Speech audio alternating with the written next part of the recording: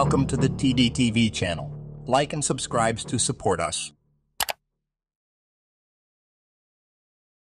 For the first time during the war, Russia has simultaneously fired six Kinjal missiles at Ukraine. On March 9th, during another mass rocket attack, the Russian Federation has used Kinjal missiles against Ukraine for the first time. This was announced by Yuri Ignat, a spokesman for the Ukrainian Air Force. Yuri Ignat revealed this during a national telethon. He emphasized that this time the enemy used a significant range of their weapons, including missiles that Ukrainian air defense systems cannot yet shoot down. Among the missiles that Ukraine cannot yet shoot down are the ballistic trajectory guided weapon S 300 and the air ballistic missile Kinjal. Six of the latter were launched on 9 March. In connection with this, Yuri Ignat emphasized the need to pay attention to air alarms that are announced due to the takeoff of the MiG 31. This aircraft is a carrier of Kinzhals. Ignat also emphasized that today's attack cannot indicate a certain change in tactics, as Russia has been striking from different directions since the beginning of the war among the current targets, it is believed are primarily civilian infrastructure objects. Russia's unbeatable Kinzhal hypersonic missile compared to U.S. high mobility artillery rocket systems. Russia's launch of six hypersonic missiles has caused trepidation on behalf of Ukrainian officials who have admitted their military lacks sufficient air defense systems. The six or Dagger missiles were part of an overall 81 missile barrage Thursday that resulted in at least five civilian deaths. The Russian Defense Ministry has taken responsibility for the assault, referring to it as a retaliatory strike in response to Ukrainian attacks in the Bryansk region. This is an attack like I don't remember seeing before. Yuri Ignat, a spokesman for the Air Force Command of Ukraine said on Ukrainian state television Thursday morning. So far, we have no capabilities to counter these weapons. There may be at least one option, however, according to the Stratcom Center, which was established under the Ukraine Ministry of Culture and Information Policy. The American Patriot air defense system is capable of intercepting ballistic missiles the center said. That is why it is so important that this air defense system arrives in Ukraine as soon as possible. Kinzhal versus high mobility artillery rocket systems. The KH 47 M2 Kinzhal, also known by its NATO label Killjoy, is a hypersonic air launched ballistic missile capable of carrying a nuclear warhead. The 8 meter long missile about 26 feet, can carry a payload of up to 480 gi, just over 1,000 pounds, and has a range of up to around 1250 miles, according to the Center for Strategic and International Studies think tank based in the U.S. It is designed to be launched from MiG 31 fighter jets and is thought to be a modified version of an Iskander M ground launched missile. Russian state television host Vladimir Solovyov previously boasted in a broadcast that the Kinzhal missiles could reach London in nine minutes after a potential launch from Belarus. The Kinzhal is the lead of a new generation of Russian superweapons, which were developed specifically as a counter to improved U.S. anti missile defenses, said military and technology expert David Hambling. Russian news agency TASS reported back in 2018, Russian President Vladimir Putin lauded the Kinzhals as giving serious advantages in the sphere of the armed struggle. David Hambling told Newsweek, it is extremely difficult to intercept because of its ability to maneuver at hypersonic speeds. This is its advantage over fast but predictable ballistic missiles and the slower, agile cruise missiles. John Erath, Senior Policy Director at the Center for Arms Control and Nonproliferation, told Newsweek that it remains speculative whether the Patriot system could adequately defend Ukrainian airspace. Kinzhal missiles fly at a fast speed and are more difficult to shoot down compared to typical cruise missiles, he added. But it presents a double edged sword for Russian forces because power comes at the cost of accuracy. Erath said if they want to hit targets in Ukraine, they either don't use these missiles or they have to slow these down because it ruins their advantage, while that diminishes the missile's chances of successfully targeting infrastructure. For example, he said Russia could use them in a terror role to kill civilians and cause general destruction Aside from Patriot systems, which were approved by the US in December to be sent to Ukraine, high mobility artillery rocket systems have been a major part of Ukraine's repertoire for much of the duration of the ongoing conflict. The US began sending high mobility artillery rocket systems to Ukraine's forces last summer, and as of March 3 of this year, has sent 38 HIMARS plus ammunition, according to Defense Department records.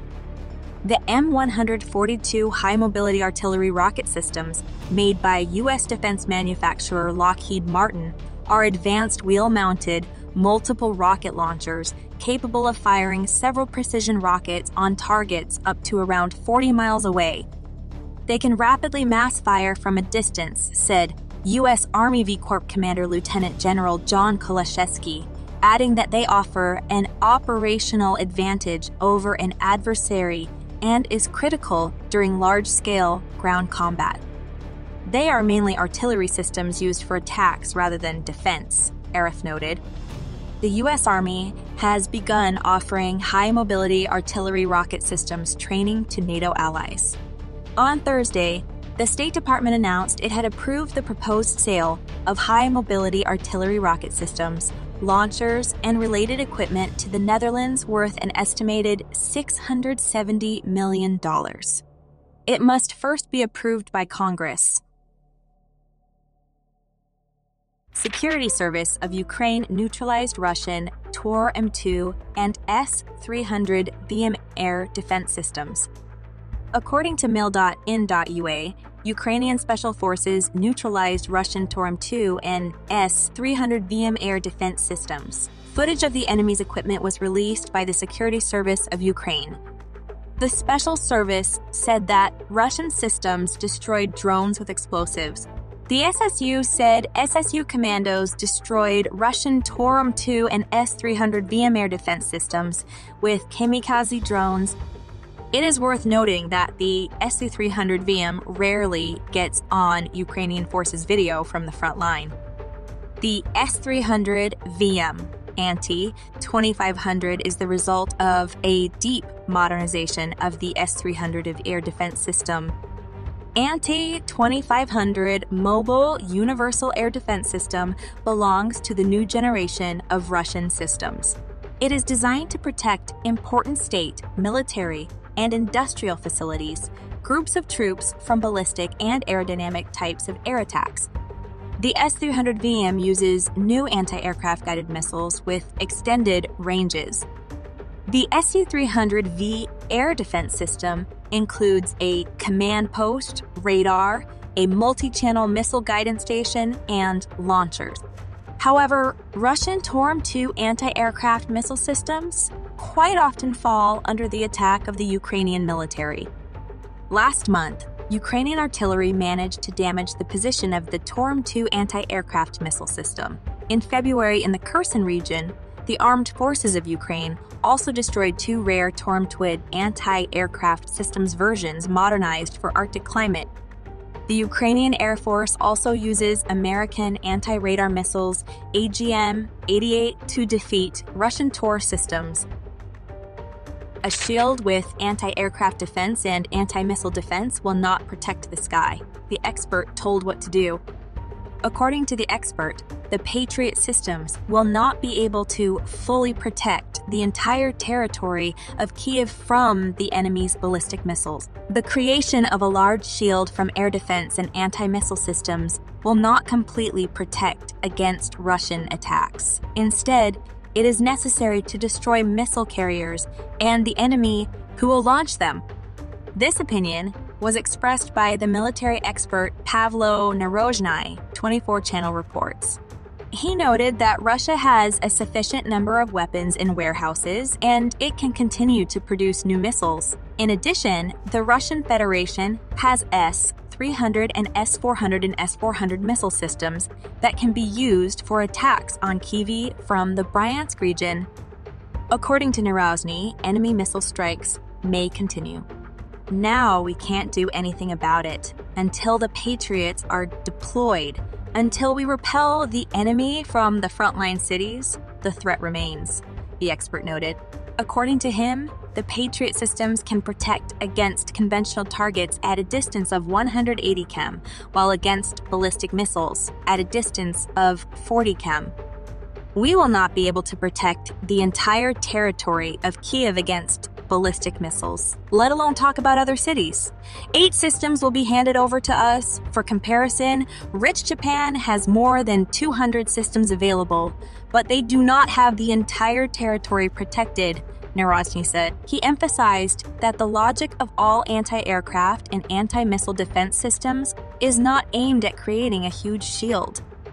We must destroy missiles, missile carriers, and the enemy who will launch them, the expert said. According to TSN.ua sources in the government, the first Patriot systems should arrive in Ukraine after April.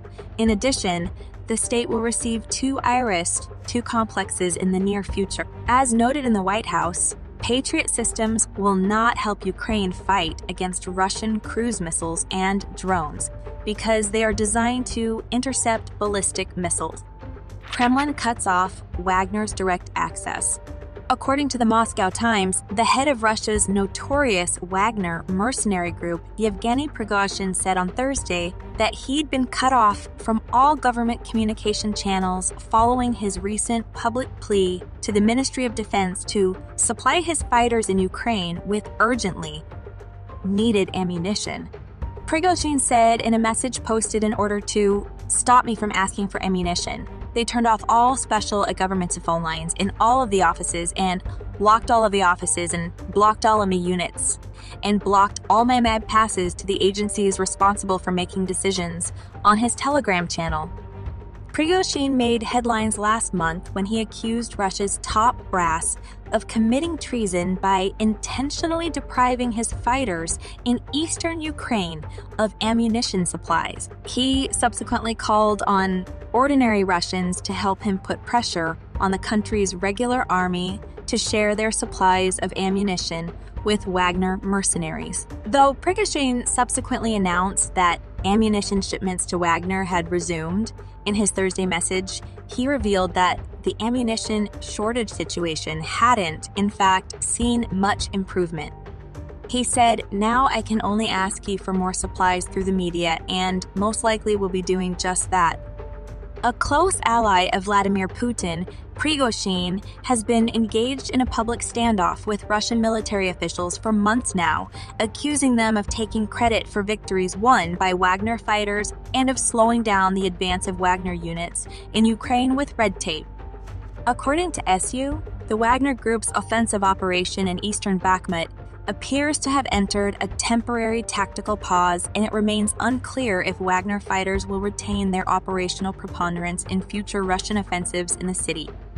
There have been no reports of Wagner fighters conducting offensive operations from eastern Bakhmut into central parts of the city since Russian forces captured all of eastern Bakhmut located east of the Bakhmut, located east of the Bakhmutka River on March 7. Wagner fighters have been conducting highly attritional frontal assaults on eastern Bakhmut for nine months and are likely not prepared to conduct a crossing of the Bakhmutka River to the Bakhmut city center at this time.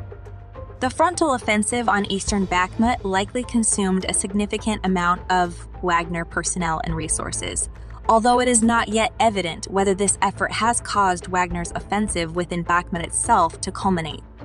Ukrainian Eastern Grouping of Forces spokesperson Serhiy Cherevati stated on March 9 that an increasing number of unspecified Russian airborne and mechanized reinforcements have recently arrived at Bakhmut. The arrival of an increased number of conventional Russian forces to the area may suggest that Russian forces intend to offset the possible culmination of Wagner's offensive operations in Bakhmut with new conventional troops. Wagner Group fighters may also be conducting a temporary tactical pause to wait for these conventional Russian reinforcements and replenish themselves in preparation for costly operations within central Bakhmut. Thank you for tuning in to our video. Make sure to check out our future videos on the TV news by subscribing and turning on notifications with the bell icon. We'll catch you at the next one.